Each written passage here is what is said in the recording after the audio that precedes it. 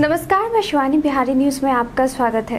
बिहार के उत्तरी हिस्से के कुछ ज़िले में हर दिन बारिश की संभावना बढ़ती ही जा रही है। मौसम विभाग के अनुसार आज बिहार के ज़िले पूर्वी और पश्चिमी चंपारण, अररिया, सुपौल, सीतामढ़ी और मधुबनी के एक या दो स्थानों पर गरज के साथ भारी से भारी बारिश की संभावना है। इस बाबत मौसम विभाग ने इन जिलों के लिए येलो अलर्ट जारी किया है।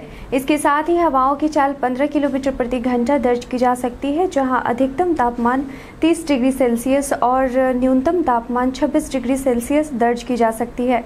मौसम विभाग की माने तो मानसून ट्रफ अभी बीकानेर, भिवानी, दिल्ली, बरेली, गोरखपुर, दरभंगा, जलपाईगुड़ी और वहाँ से उत्तर पूर्व की ओर पूर्वी असम से गुजर रही है। श्रीलंका तट से दूर बंगाल की दक्षिण पश्चिम खाड़ी के ऊपर चक्रवाती परिसंचरण तमिलनाडु तट से दूर दक्षिण पश्चिम बंगाल की खाड़ी के ऊपर औसत समुद्र तल से तीन दशमलव एक किलोमीटर से चार दशमलव पाँच किलोमीटर के बीच स्थित है।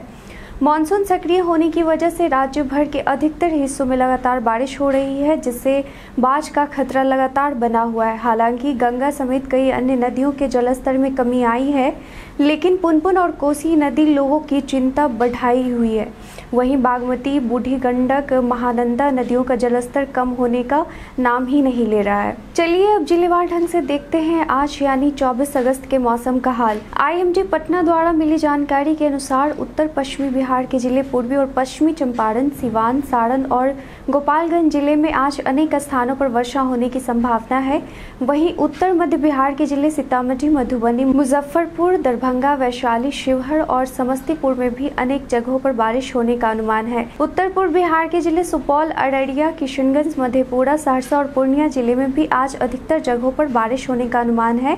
वहीं दक्षिण पश्चिम बिहार के ज़िले बक्सर, भोजपुर, रोहतास, भभुआ औरंगाबाद जहानाबाद और अरवल के कुछ ही स्थानों पर बारिश की संभावना है।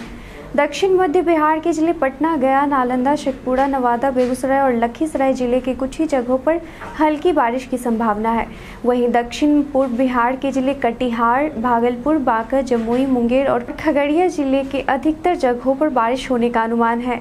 विशेष रूप से राजधानी पटना की बात करें तो आज पटना सहित इससे सटे इलाकों में आसमान में आंशिक रूप से बादल छाए रहने की वजह से एक दो जगहों पर हल्की से मध्यम बारिश होने का अनुमान है, जहाँ अधिकतम तापमान 30 डिग्री सेल्सियस और न्यूनतम तापमान 26 डिग्री सेल्सियस दर्ज की जा सकती है।